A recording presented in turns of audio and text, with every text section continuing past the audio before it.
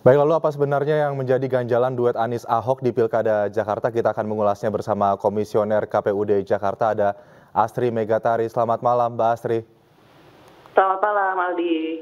Ya, Mbak Astri, ini sepertinya publik uh, menyoroti wacana kemungkinan akan diduetkannya Anies Baswedan dengan Basuki Cahayapurnama atau Ahok. Begitu nampaknya jika kemudian mereka diduetkan, banyak yang menilai elektabilitasnya akan sangat tinggi. Apakah kemudian KPU juga akan memberikan uh, sinyal lampu hijau terhadap duet yang mungkin terjadi ini? Uh, baik, jadi kalau untuk merespon pertanyaan yang tadi, karena saya sebagai anggota KPU DKI Jakarta, maka saya menjawabnya secara normatif ya. Menurut. Undang-Undang Nomor 10 Tahun 2016, ini sudah diatur dalam pasal 7 bahwa setiap warga negara ini berhak memperoleh kesempatan yang sama untuk mencalonkan diri dan dicalonkan sebagai calon gubernur dan calon wakil gubernur. Namun uh, di ayat 2 dijelaskan ada syarat-syaratnya untuk calon gubernur dan calon wakil gubernur tadi. Ada sejumlah persyaratan Salah satunya kalau untuk berkaitan dengan pertanyaan yang tadi ditanyakan barusan adalah yang di huruf O, mm-hmm. yaitu belum pernah menjadi menjabat sebagai gubernur atau calon untuk calon wakil gubernur atau bupati wali kota untuk calon wakil bupati atau calon wakil wali kota pada daerah yang sama. Mm-hmm. Jadi seperti itu kalau menurut peraturan. Oke, jadi jika kemudian pernah menjabat sebagai gubernur, tidak boleh dicalonkan kemudian menjadi calon wakil gubernur pada pemilihan Di kepala daerah. daerah. Ini uh, berlaku hanya untuk Jakarta apa seluruh Indonesia sebetulnya Mbak Asri?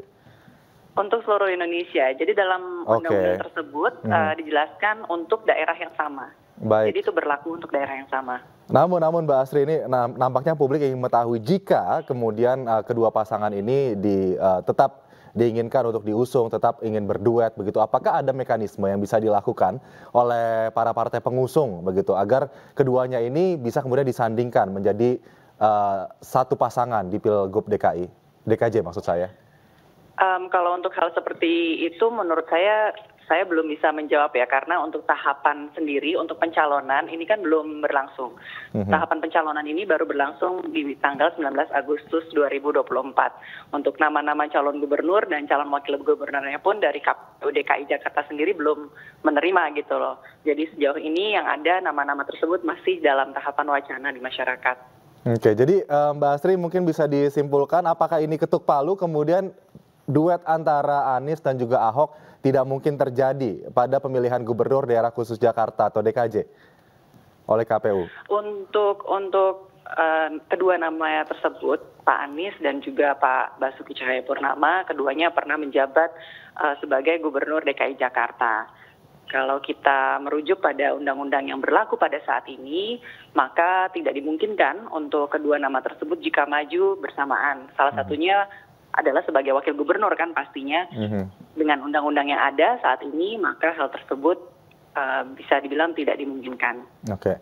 Baik, lain halnya jika kemudian masing-masing maju sebagai calon gubernur begitu ya, Mbak? Betul. Oke, jadi itu akan diizinkan. Tapi jika kemudian ada dorongan kuat lagi-lagi, apakah KPU akan memfasilitasi uh, perubahan undang-undang dan lain-lain jika kemudian uh, memang ada urgensi lah untuk kemudian memasangkan kedua orang ini? KPU di sini uh, sebagai penyelenggara, jadi kami mengikuti peraturan yang ada, peraturan undang-undang dan juga diturunkan dalam PKPU. Jadi apa pun peraturannya, KPU di sini sebagai penyelenggara wajib mengikuti peraturan yang ada. Baik, satu lagi mungkin Mbak Asri jadi pertanyaan, ini kan jika kemudian nama Basuki Cahayapurnama ini menjadi orang yang ada di bursa calon gubernur daerah khusus Jakarta begitu. Kita ketahui Ahok sebelumnya pernah menyandang status narapidana, kemudian bagaimana aturan yang uh, mengatur adanya mantan narapidana ini bergabung di kontestasi pilkada? Ya, untuk aturan-aturan terkait pencalonan itu nanti akan diturunkan dalam PKPU.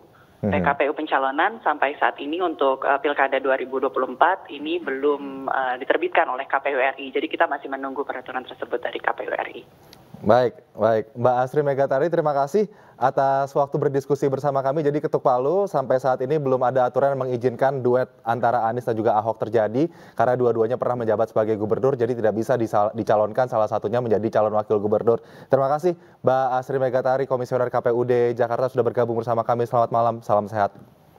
Selamat malam, terima kasih.